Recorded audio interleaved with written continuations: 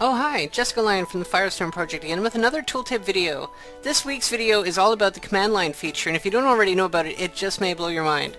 Firestorm comes with a whole bunch of features that can be triggered by simply typing in your nearby chat. I'm only going to cover a few of these and I'll do it quick, so here goes. Find yourself having to do math but you don't have a calculator handy?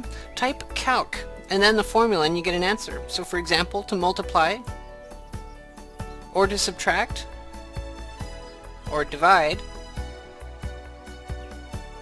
Find yourself in a busy laggy place? Lower your draw distance to 10 meters by typing DD 10. Or set it to 64 meters with DD 64. Or anything you like, DD 256. Using the Firestorm AO, turn it off and on quickly with CAO off and CAO on. Want to clear up your nearby chat? Type CLR chat for clear chat. Command line has a bunch of teleport options too. Found something interesting with your camera? Just teleport to your camera with TP2Cam. Teleport to someone in your region if you know their username with TP2 username, for example.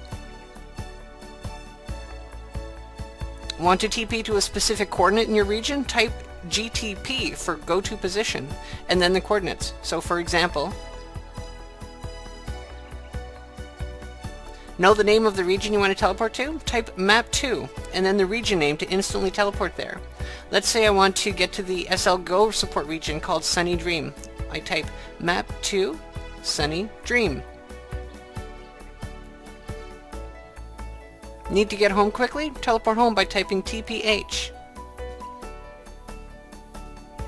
Need some quiet time or have to escape a griefer? Teleport to any altitude by typing GTH, which stands for go to height, and then the altitude you want to be at. So for example, type GTH 7000 to reach 7000 meters.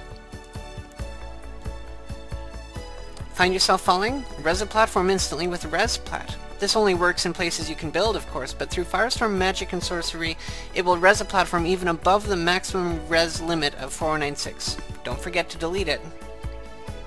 And finally, if you need to get to the ground quickly, type FLR for floor. Pretty cool stuff. All these options and more can be enabled and found under Preferences, Firestorm, Command Line 1 and 2 tabs. You can even customize the commands to something easy to remember if you like.